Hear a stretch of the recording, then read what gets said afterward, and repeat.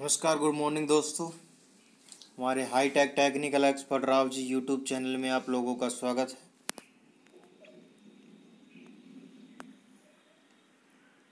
दोस्तों, आज मैं आपको ले आया हूँ एक पत्थरों की जोन में, जहाँ पर पत्थर से रोड़ी बनाई जाती है। क्रेशर बनाया जाता है। तो यहाँ पे मैं पैनल आपको दिखा रहा हूँ।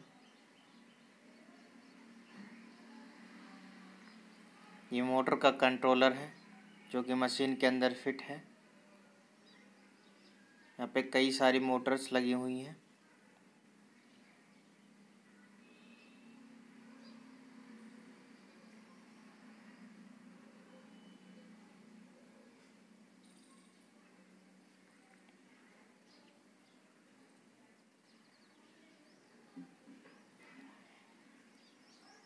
बजरी और क्रेशर्स बनता है मशीन से। और इसकी जो मोटर लगी हुई है, यहाँ पे जो बड़ी मोटर लगी हुई है, ढाई सौ एचपी की है थ्री फेस में होती है। और जल्द ही मैं कुछ वीडियोस लेके आऊँगा इन मोटर के ऊपर। बहुत बड़ी मोटरें हैं।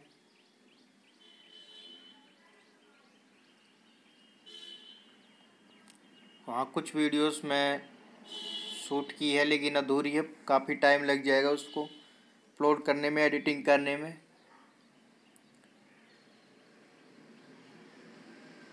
तो यहाँ पे देखिए बेल्ट है।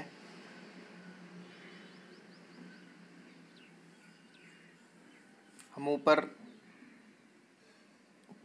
चढ़े हुए हैं यहाँ पे पैनल को स्टार्ट करके देख रहे हैं मोटर को पैनल से।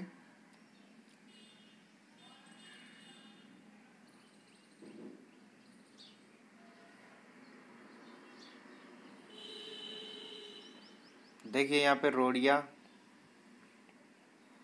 आने लगी है मशीन में।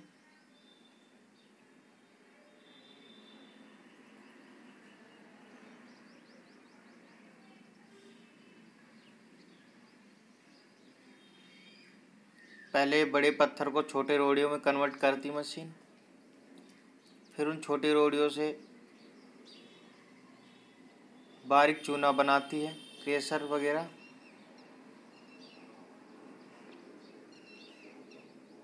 कई तरह की रोड़ियाँ भी बनाती है। कई आकार की।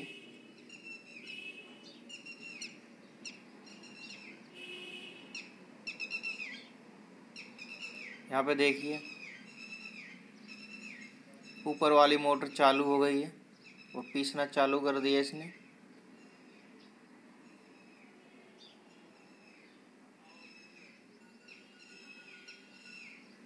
मैं नीचे से दिखा रहा हूँ इसको। बहुत ज़्यादा धूल ही धूल रहती है। आज मौसम थोड़ा सा ठीक है। थोड़ी सी हवा चलते ही बुरा हाल हो जाता है, यहाँ पे कुछ दिखाई नहीं देता है। दूर दूर तक बुरा हाल हो जाता है। इतना ज़्यादा डस्ट उड़ता है बहुत ज़्यादा। पूछो मत। यहाँ पे देखिए रोडियाँ पड़ी है।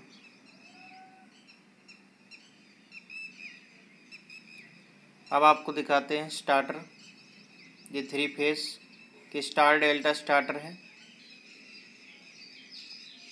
जो मोटर को पहले डेल्टा में चलाते हैं, फिर स्टार में कर देते हैं।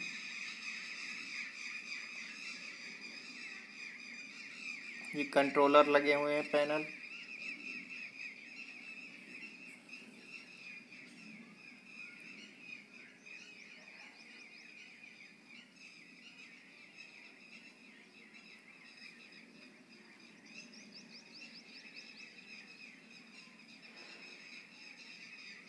वही जुगाड़, जिसको हम कटआउट भी बोलते हैं। ये ऊपर और ये नीचे। यहाँ पे देखिए कितनी सारी केबल लगी हुई हैं। समझ में भी नहीं आएगा कि कौन सी केबल कहाँ पे लगती है।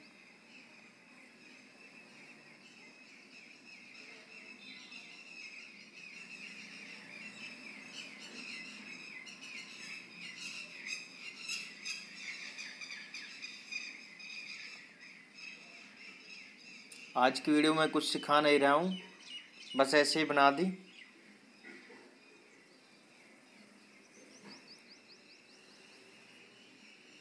बस आपको थोड़ा दिखाने की कोशिश करता हूँ कि इन मोटरों को चलाने के लिए कितनी सारी चीज़ों की आवश्यकता पड़ती है। इनके बारे में मैं डिटेल से बताऊँगा आपको। किसी और वीडियो में एक एक चीज़ के बारे में। ये मोटर ढाई सौ एच पी तीन सौ एच पी डेढ़ सौ एच पी बहुत बड़ी बड़ी मोटरें होती हैं। तो उनकी रिवाइंडिंग की वीडियोस भी मैंने कुछ बनाई हैं। अभी एडिटिंग का काम रह रहा है और वीडियो भी अधूरी है, इसलिए थोड़ा टाइम लगेगा चैनल पे अपलोड करने में।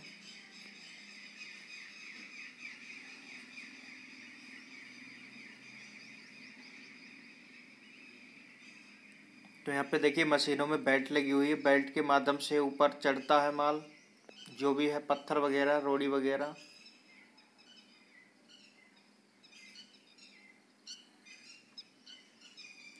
और देखिए वहाँ ऊपर कूद रहा है। यहाँ पे नीचे देखिए ज़मीन पूरी। पीली पड़ रही है, डस्ट है। यहाँ पे हर जगह क्रेशर उड़ा हुआ है। चूना जो मशीन ने तैयार किया है वो।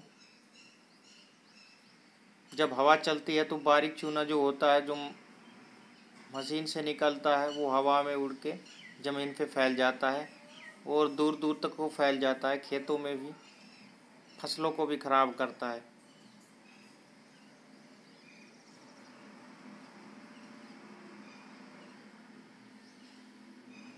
तो मैंने एक छोटी सी वीडियो अपलोड की है।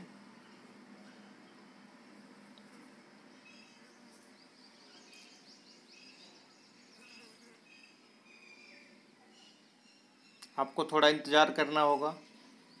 इंतज़ार करवाने के लिए माफ़ी चाहता हूँ आप सभी से।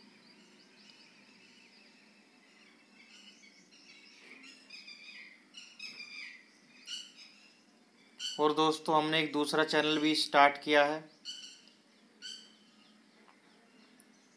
उसका लिंक हमने अपने इस चैनल के अबाउट में दिया है और इस चैनल के फीचर चैनल में भी उसको जोड़ा है। आयुर्वेदिक बाबा जी के नाम से चैनल है। उस पर हम मेडिसन्स के बारे में जानकारी देते हैं। आयुर्वेदिक, होम्योपैथिक मेडिसन्स जो होती हैं, एलोपैथिक, तीनों तरह की मेडिसन के बारे में हम जानकारी देते हैं। दवाई क्या क्या साइड इफ़ेक्ट हो सकते हैं, किस, कौन सी दवाई किस काम आती है, वो सब जानकारी हम देते हैं तो उस चैनल को सब्सक्राइब ज़रूर करिए। ठीक है दोस्तों, आज की वीडियो बस ये समझ लीजिए टाइम पास के लिए। बनाएँगे मोटर रिवाइंडिंग की वीडियो। ठीक है, फिर मिलते हैं वीडियो के साथ। जय हिंद, जय भारत।